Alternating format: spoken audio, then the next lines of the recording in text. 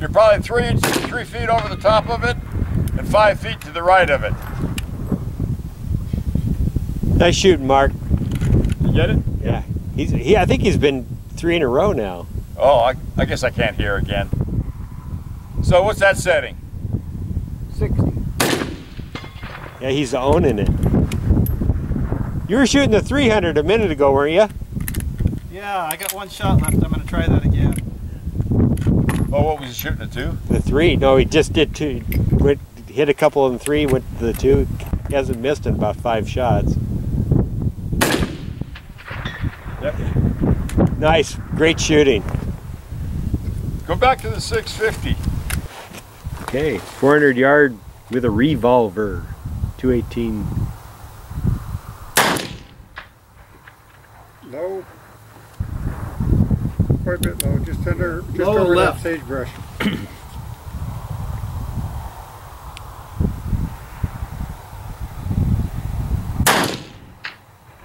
Oh, man.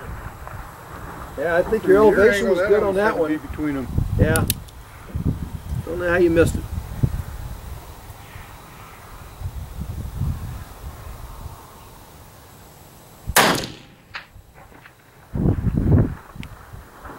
Low the bottom uh, left pole, right at the base of it.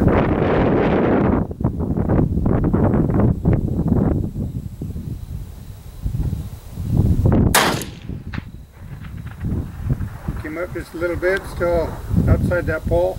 Yep, still a little left.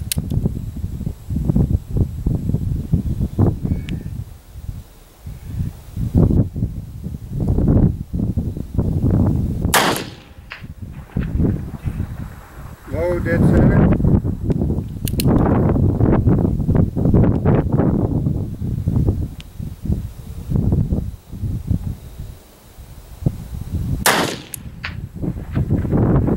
Low, just on Close, the but right. he, he doesn't know what side it landed on. Unless he got lucky and saw it. Yeah, That's a you hit. did it. Nice. There you go, man. Is that? Are you about three dingers to the to the left of it? Hold. Yeah, pretty close. Yeah.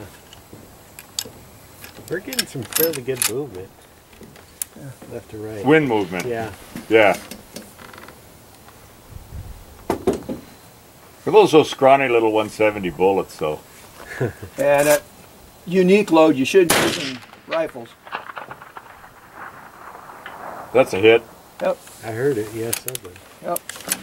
Nice. Yeah, these guys Thank uh, you. Okay. done some good.